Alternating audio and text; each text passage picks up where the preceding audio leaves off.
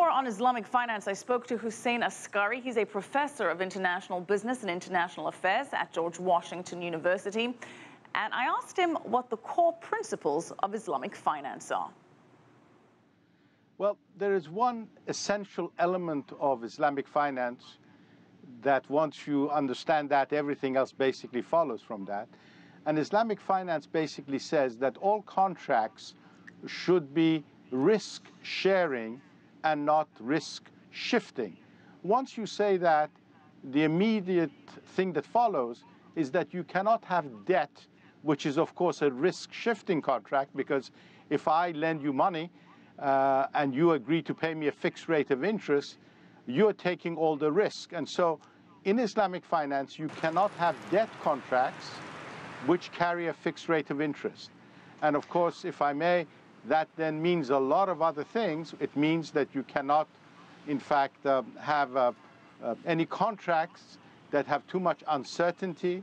You cannot have contracts of gambling nature. You cannot have a mortgage contract because that is debt. Student loans cannot be done because the student is taking all the, uh, all the risk because he, he or she borrows money and then has to pay the bank back whether they have a job or not. So many, many things actually follow from that one thing which says that all contracts should be risk sharing. And probably the most important thing that also comes out of that, besides the fact that you cannot have interest bearing debt, is that it changes the whole nature of the banking system of a country. So, if charging interest is forbidden, then how would an Islamic home mortgage work, for example? Well, the way that would work is that you look at a house, you want this house, you go to an entity, a bank, whatever you want to call them, and they will own this house with you in partnership. And over time, you would in fact pay them a lease rate. And over time, at the end of that period, then you could buy the house from them. And of course, you have paid them, depending on the lease rate that you have paid, you can all the time you are owning a larger percentage of the house.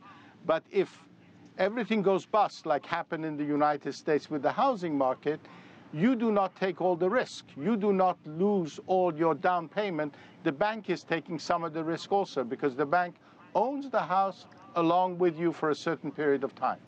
Islamic investing and financing has been part of the uh, formal global financial system since the 1970s. So, why are we seeing such an increased interest in it now? I think there are probably three reasons. Um, as you said, um, it really began in the 1970s. And the reason why it began then, the main reason, is that oil revenues basically jumped for a number of Muslim countries and they had excess cash, they had excess reserves, and so people in the country became wealthier and they had to find outlets for their investment. I think that was the first important reason. The second, I think, is that when you look at many Muslim countries, a large percentage of the people are what we call unbanked. They did not have bank accounts, and so now they're now getting bank accounts, they're getting into finance, and I think they've now become more aware of the, what their religion says, and so they demand assets or asset classes that are in fact, you know, compatible with Islam. So how big is the worldwide Islamic finance industry in terms of market value compared to the global financial system?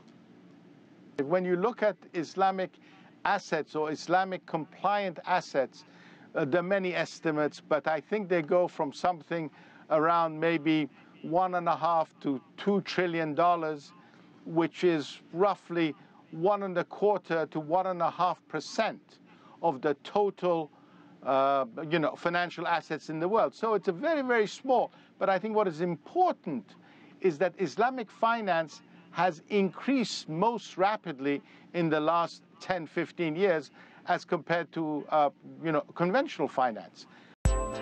If you like what you just saw, follow us on social media and visit our website, cctv-america.com.